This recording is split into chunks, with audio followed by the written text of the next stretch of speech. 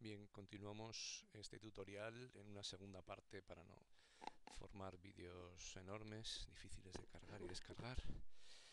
Em, continuando con más posibilidades de PathMaper, he generado una entrada, esta vez sí con índice, porque necesito una operación inversa para que veáis eh, un ejemplo de operación. Vaya. Em, tenemos una entrada de un árbol similar donde i asumirá el valor del número de elementos que tengan los índices perdón, las ramas. Y la salida, fijaros en la salida, utilizo la variable i, que es un número, este índice, el número de elementos, eh, eh, lo utilizo como nombre de la rama y a, lo que es eh, una de las entradas, es decir, el nombre de una lista que a su vez contiene listas, lo utilizo como índice. ¿Cuál es el resultado de todo eso? Pues que eh, obtenemos, vamos a obtener, eh, eh, el resultado que obtenemos es un árbol que tiene tantas ramas como elementos tenía cada rama antes, 7. Y cada elemento, perdón, y cada rama tiene un solo elemento. he utilizado esto para que veáis a qué se corresponde. Son todos estos puntos, pero ojo, cada uno de estos puntos es una lista no son puntos sueltos, es una lista, está metido en una rama, es una lista de un solo elemento, el, elemento de índice 0. ¿De acuerdo? Esta es la, eh, una, de las operaciones eh, posibles. ¿no? Conviene eh, repasarla, es un poquito tal vez complicado al principio. Si lo que hacemos, voy a copiar esto, bueno, tal vez incluso todo, esto, lo ponemos un poco por aquí, vamos a dejarnos esto por aquí para verlo. Más adelante.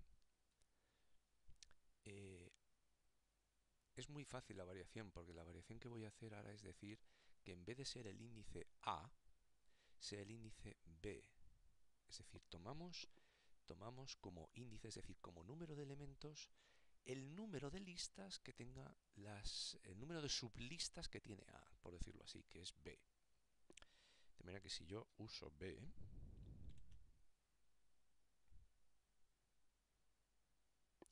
lo que ha sucedido es que tenemos siete eh, listas, tantas como elementos tenían antes las sublist, perdón, las listas de antes, pero de cinco elementos cada una. De cinco elementos cada una. ¿Por qué? Pues porque había cinco ramas, que es lo que el valor que contiene B. Es decir, el valor original son cinco ramas, por lo tanto hay cinco elementos. ¿Cuáles? Estos. Perdón, porque están todos. Vamos a señalarlo mejor así. Vamos a señalarlo mejor así, acá ahora se ve este punto mal. Bien, esta es la estructura. Son cinco ramas, este, eh, perdón, siete ramas de cinco puntos cada una. Es decir, efectivamente incumbe a todos los puntos, no se seleccionan unos cuantos. De manera que este es el resultado que obtenemos en esta operación. Lo que vamos a hacer ahora es eh, hacer más operaciones. Insisto que en todo esto son operaciones sencillas. Desde luego, puede ser lo que necesitéis en un primer momento, pero en cuanto empecéis a exigir, mm, eh, digamos, eh, operaciones de acuerdo con diseños previos que queráis conseguir, las cosas se van a complicar. Por eso es preferible tener este tutorial con las, eh, digamos, condiciones mínimas, las más elementales, para que luego esto se pueda manejar o resolver dudas a partir de lo que ya sabemos. voy a hacer una cosa, que es hacer una lista plana voy a hacer una lista plana desde esta eh, estructura, es decir, una, estructura con una lista eh, grande que contiene eh, todas estas sublistas. Cuando esto lo haga plano, lo que voy a obtener es una lista de elementos, todas, como ya sabemos, todas metidas, todos los puntos, todos estos puntos metidos en la misma lista. Muy bien. Y vamos a hacer algunas organizaciones con esto.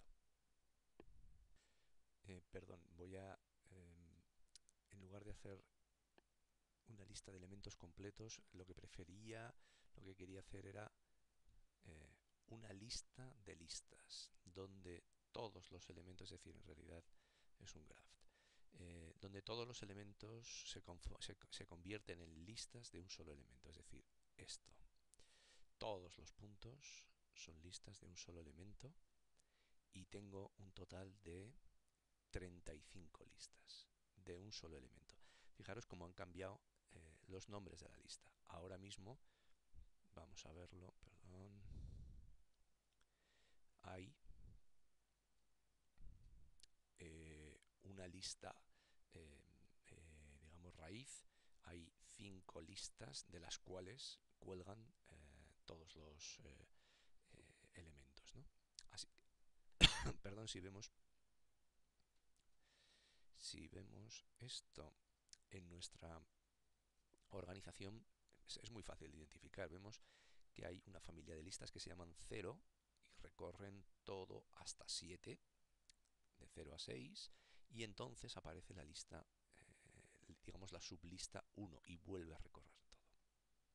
Muy bien.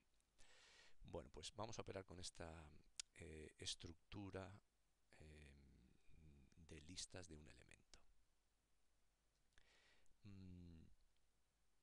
Si a esta estructura le hacemos más o menos lo que hemos hecho antes, es decir, voy a coger, para no escribir tanto, un pathmaper que tengo por aquí, vamos a duplicar, le enchufamos nuestra estructura nueva, se está quejando, claro, ¿por qué? Porque la sintaxis no es correcta. Ahora mismo tenemos tres órdenes de listas, por lo tanto aquí nos hace falta C. Ahora ya no se queja, pero no es esto lo que queremos hacer. Lo que queremos hacer es decir, mm, eh, ¿qué pasa si estás, vamos a dejarlo claro, qué pasa si em, lo que queremos es eh, convertir o, obtener eh, una sola de las ramas estamos buscando, una sola de las ramas, perdón, de la lista original. Lo que tendremos que hacer de la lista madre, lo que tendremos que hacer es llamar, o sea, buscar la lista original con índice i. Esto me va a dar un error, me lo debería dar. Hay que ser muy cuidadoso. Em, ¿Qué obtenemos? Vamos a obtener, vamos a ver de nuevo un visor y lo que obtenemos es un pad, es decir, una rama con un elemento. ¿Por qué? Pues porque solo hay un elemento en la rama original, es la, digamos, la troncal. ¿En qué se traduce esto en puntos?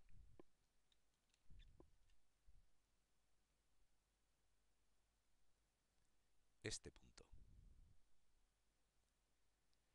Muy bien. Ejercicios. ¿Qué pasa si busco eh, la rama intermedia. Voy a coger todo esto, perdón, el orden intermedio de listas. El orden intermedio de listas es lo mismo que decir B. Lo que obtengo son, lo que obtengo es eh, cinco ramas de un elemento cada uno, que son estos. Es decir, los elementos número 0, 1, 2, 3, 4, 5 y 6, los sextos elementos de todas las ramas. Mm, fijaros que para obtener esto, lo que, este, lo que, quiere decir este tutorial es que para obtener eh, clasificaciones u órdenes o grupos de puntos como estos, lo primero que hay que hacer es un graph, es decir, es eh, convertir la estructura del árbol en una lista en, una lista que agrupe listas de un solo elemento. De esta manera, ¿eh? de manera que queden agrupadas en sublistas. Esta es la, manera de acceder a estos puntos. Por último, ¿qué pasa si accedo? Por último, no.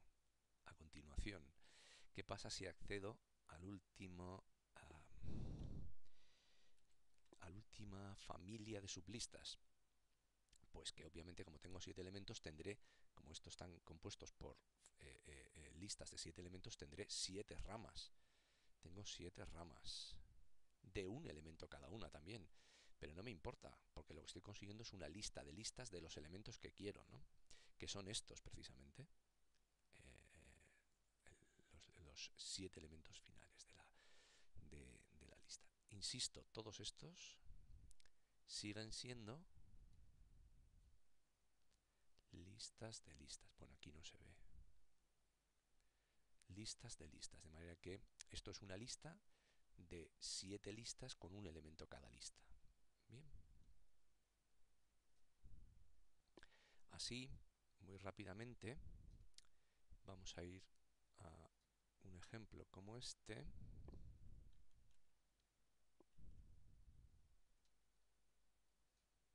Porque que voy a hacer es algo parecido a lo que decía antes. Ahora eh, lo que tengo es una entrada de tres elementos. Es muy raro que no se esté quejando. Eh, tengo una entrada de tres elementos y lo que quiero es operar con el índice. Quiero operar con el índice. Así que, ¿qué pasa? Em, quiero ver qué ocurre si uso el índice como el nombre de la rama con el número de elementos que me da el número de elementos que tiene el orden principal de listas eh, del árbol original. Esto es complicadísimo, pero espero que repetido se pueda, se pueda entender. A ver, tengo un error.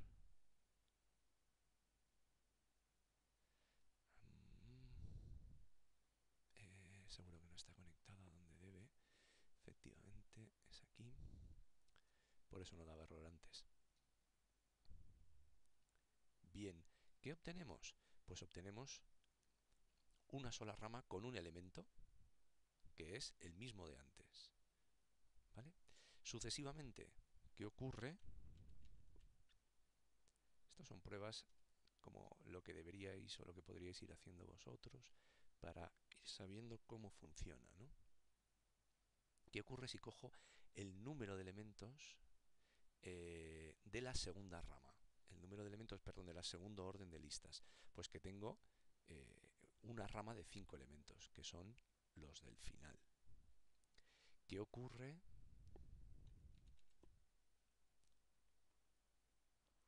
Si cojo... Ey, lo mismo. Eh, tendremos una rama, pero con siete elementos, que son estos del principio. Es decir, fijaros que tenemos elementos diferentes ¿eh? en distintos órdenes y en distintas eh, agrupaciones.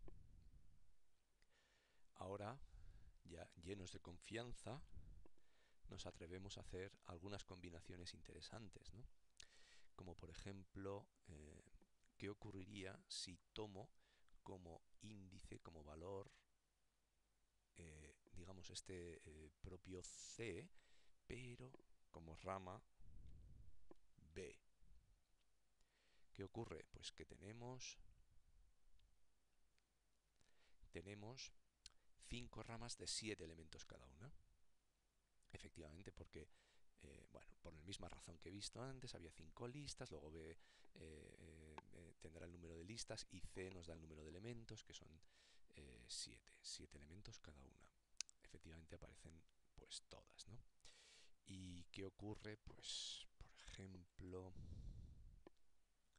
¿qué ocurre, por ejemplo, si, eh, por ejemplo, si B, bueno, si tomo dos ramas, eh, pero puedo nombrar esta como cero lo que obtengo es algo similar, similar, pero con un nombre diferente para las ramas. Es decir, el tipo de puntos que obtengo es diferente, pero la estructura del árbol eh, es el mismo, pero la estructura del árbol es sensiblemente diferente. Daros cuenta que en las operaciones con árboles tenemos que partir de datos semejantes para poderlos combinar o para operar con ellos. De manera que hay que aprender a, digamos, preformatear el árbol antes de operar con él. Y esto es muy útil, esto es muy útil, es decir, tiene que, en algunas operaciones tiene que tener el mismo formato en sus ramas y en sus componentes antes de operar con ellos para no obtener resultados imprevisibles. Bueno, esto y sucesivas combinaciones es lo que se puede hacer con el PathMaper. Espero que hay, hay muchas más operaciones más complejas, eh, pero eh, hasta aquí podemos llegar. Eh, espero que con esto sea suficiente para ir por lo menos eh, permitiendo eh, algunas operaciones interesantes y después iremos resolviendo problemas.